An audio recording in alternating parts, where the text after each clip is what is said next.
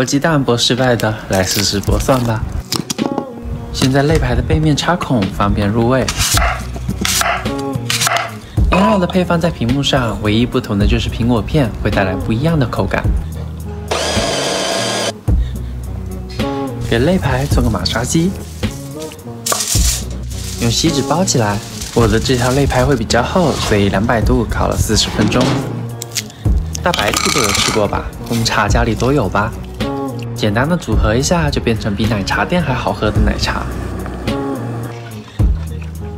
不管是奶香还是茶香，都特别的浓郁。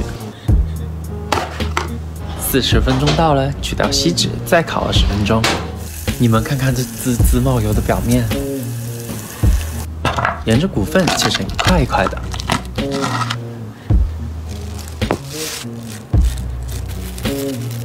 这才叫真正多汁嘛！